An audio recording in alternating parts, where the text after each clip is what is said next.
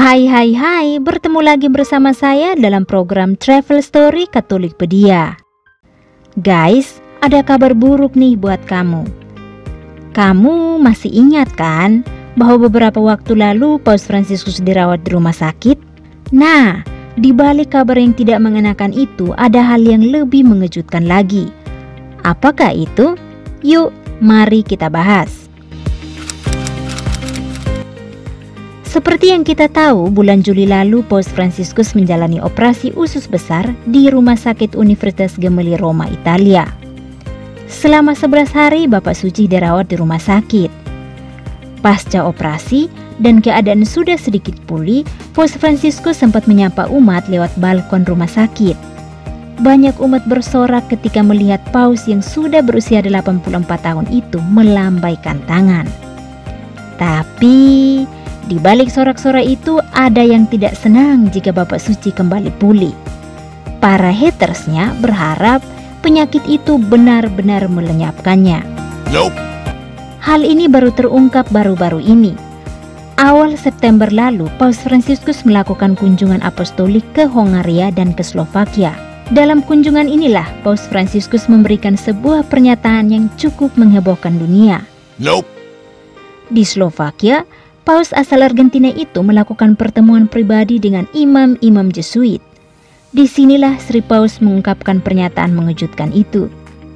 Di hadapan rekan sesama Jesuit, Paus Fransiskus mengatakan bahwa ada beberapa orang yang menginginkan kematiannya. Orang-orang tersebut berharap agar Paus Fransiskus tidak selamat dalam operasi usus besar pada 4 Juli 2021 lalu.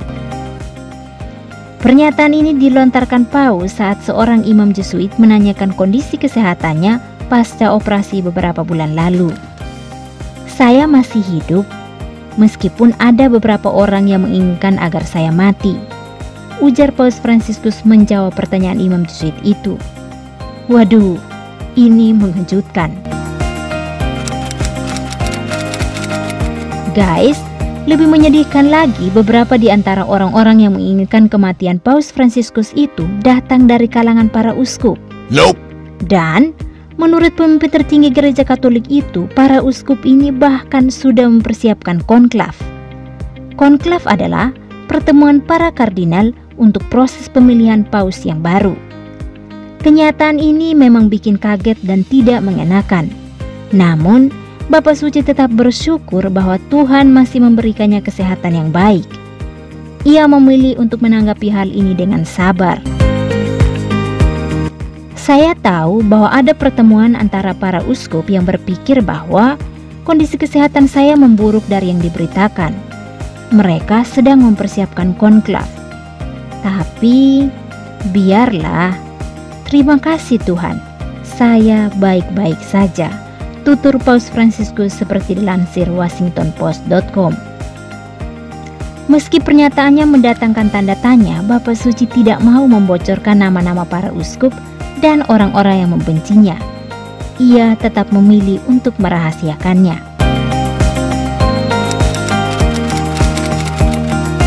Sama seperti pemimpin lainnya, menjadi paus juga tidak mudah. Ada yang suka dan ada yang tidak suka. Paus Fransiskus juga memiliki banyak haters loh guys. Bahkan itu berasal dari kalangan umat Katolik sendiri loh.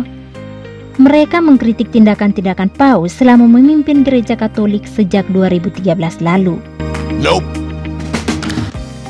Bapak Suci juga menuturkan bahwa ada sebuah stasiun televisi Katolik ternama yang suka menyerangnya secara membabi buta tanpa mengajaknya untuk berdialog. Tapi lagi-lagi Bapak Suci menerima semua serangan itu dengan rendah hati. Saya secara pribadi pantas menerima serangan dan hinaan karena saya orang berdosa. Tapi gereja tidak pantas menerima hinaan orang-orang itu. Apa yang mereka lakukan itu adalah pekerjaan iblis, ujarnya.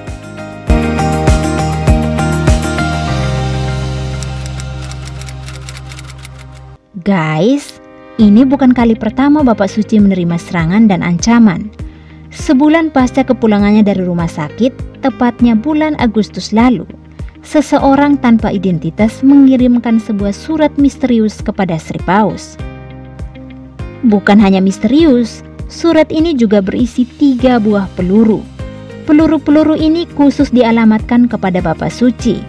Pada bagian luar surat tertulis, Paus, Kota Vatikan, Lapangan Santo Petrus di Roma. Guys, jangan pernah berpikir bahwa menjadi paus semua akan terlihat baik-baik saja dan bahagia.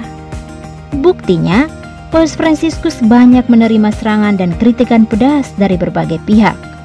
Maka, jangan pernah berhenti mendoakan Paus Fransiskus. Meski dia seorang paus, ia juga butuh doa-doa dari kita. Mari sediakan waktu sejenak dan doakan Bapak Suci agar ia kuat dan dijauhkan dari hal-hal buruk.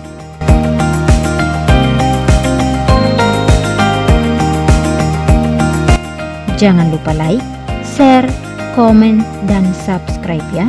Sampai jumpa. Tuhan memberkati.